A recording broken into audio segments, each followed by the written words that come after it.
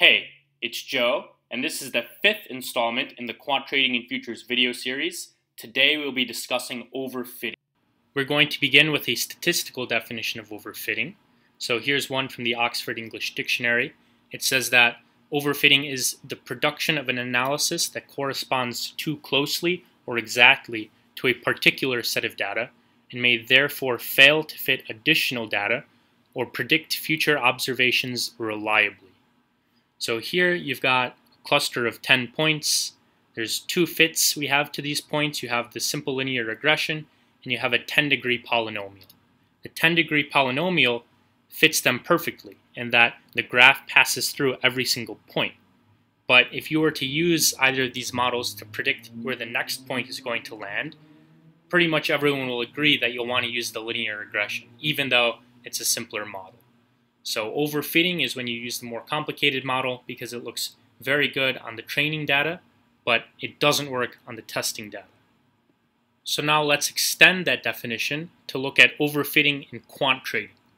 Overfitting in quant trading is identifying a false pattern in a dataset through the repeated analysis of counterfactuals, most commonly through the tweaking of parameters, introducing hindsight bias. So think back to the moving average cross example we looked at way back in video 2, Intro to Quant Trading. Strategy has two parameters, N1 and N2. Let's say we've run the strategy for five different parameter sets and computed the Sharpe ratio. These numbers are made up, by the way. But so you have a Sharpe ratio for each parameter set, and note that for the parameter set N1 equals 30, N2 equals 100, the Sharpe ratio is amazing, 3.7. But if you vary those parameters just a little bit, either down to 2075 or up to 4125, the strategy loses money. So this would be a very clear example of an overfit strategy. You can't just say, ah, I've discovered the magic combo. If you use 30 and 100, the strategy will make so much money because it's overfit. You should have stable parameters. There should be smoothness here Instead, it's very jagged. If you change the parameters just a little bit, the Sharpe ratios change dramatically. It's totally oversensitive.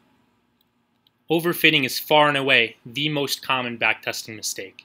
Dimitris Melas, head of research at MSCI, said, I've never seen a bad backtest. And a lot of times when you're overfitting in quant trading, what you're really doing is p-hacking. P-hacking is when you perform many statistical tests on data but you only pay attention to those that have significant results. Statistical tests and significance levels are only valid if you're doing one test. So in statistics, the alpha equals 0.05 significance level is commonly used. So what does that mean? That means we will view results as significant if the probability of those results occurring by random chance is less than 5%. And that's all fine and well if you're only doing one experiment. But if you go out and you do 100 experiments, it's almost a statistical certainty that some of them will end up with p-values less than 0.05. But if you believe that that means the experiment that does have a p-value less than 5% is actually significant, you're really just deceiving yourself. And an analogous problem is rampant in quant trading. So if you test many different parameter sets for high Sharpe ratios, there's going to be some that do have high Sharpe ratios. It's a statistical certainty. But the same thing, if you convince yourself that the handful of parameter sets with high Sharpe ratios is evidence that the strategy works, you're just deceiving yourself. If a backtest is done incorrectly, it will make a strategy look amazing on historical data, but it will lose money when it's live traded. It's important to remember that quant trading is not about modeling the past. It's all about predicting the future. Overfitting is even rampant in academia because of publication bias. So in the paper Replicating Anomalies, Hou et al. retested 447 anomalies identified in academic papers, and they found that only 15% were significant at the t-stat equals 3 level. Why t-stat equals 3 instead of the more commonly used t-stat equal 2? It's because it's inevitable that there will be some fitting. There will be multiple tests run, many different parameter sets will be evaluated, and so you need a stricter significance level in order to ensure that the results are actually significant. But that's beside the point. They explain more in the paper. The big takeaway is that only 15% of these studies were actually significant. Why is that? That's because of publication bias. Publication bias is when the outcome of a study influences the decision of whether or not to publish the study. So Harvey et al.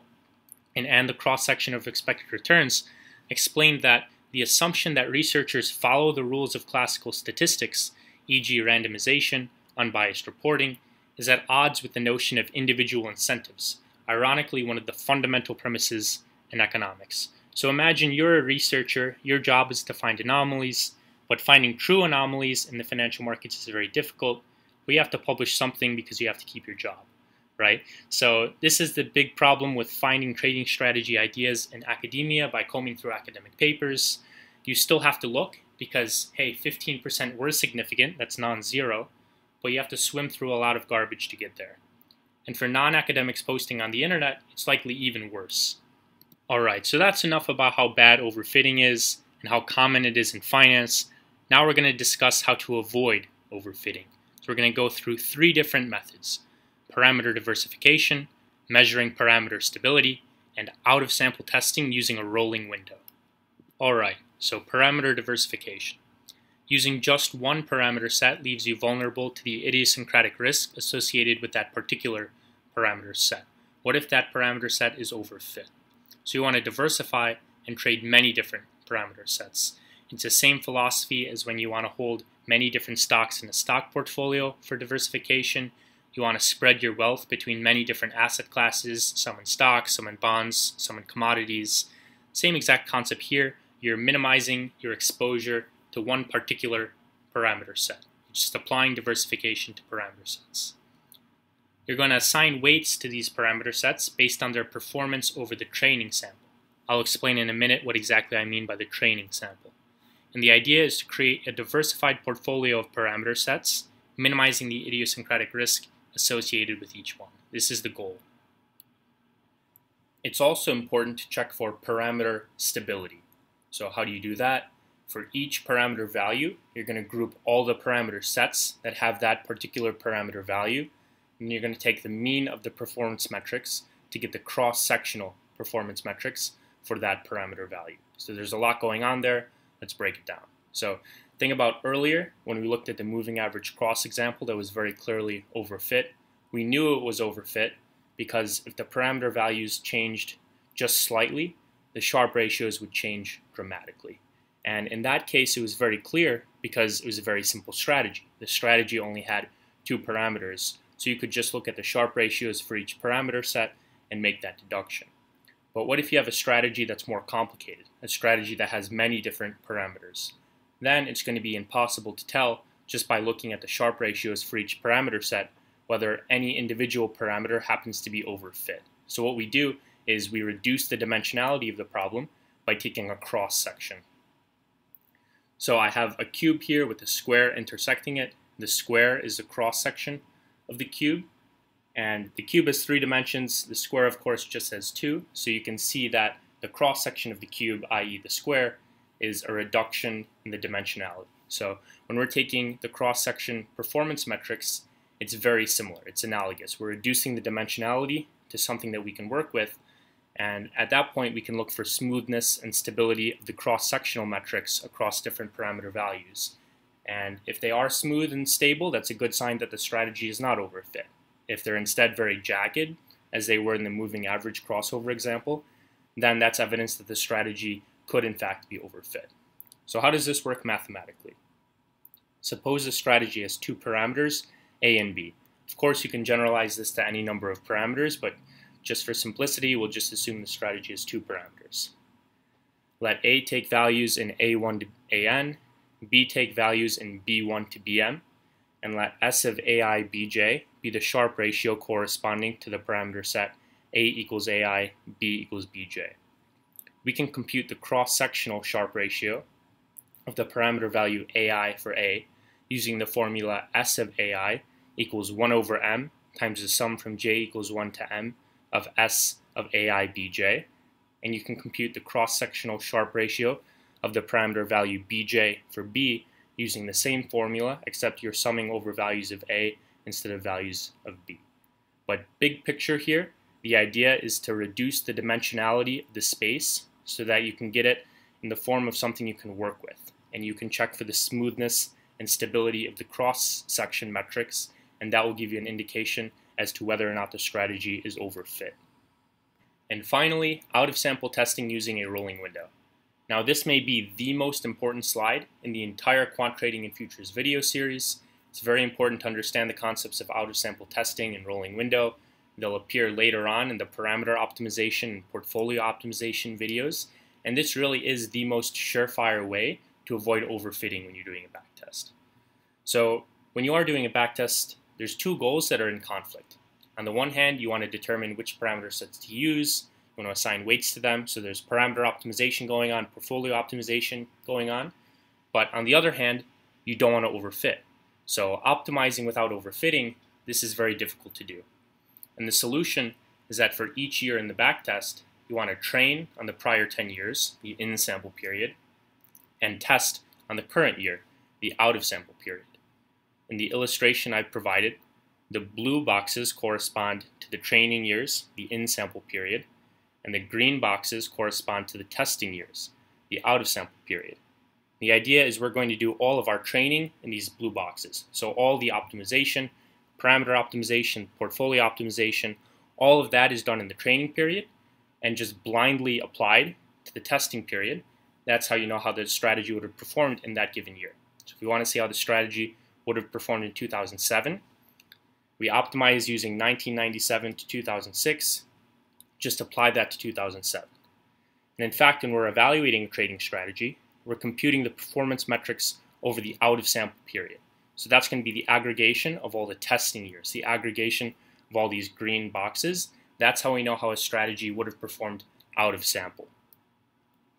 Backtesting only in sample, on the other hand, without an out of sample test, without a rolling window, fails because it introduces look-ahead bias.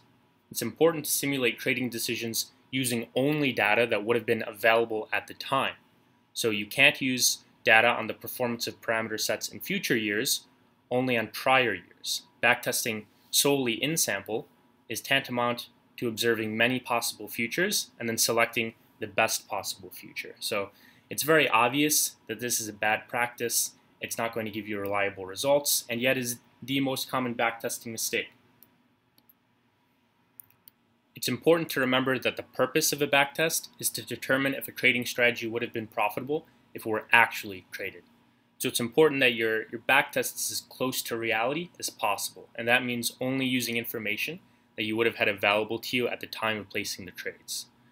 The reality is that most strategies are overfit and would have not have even worked in the past, but I do want to caution you that even if a strategy did work in the past, that's no guarantee that it will continue to work in the future.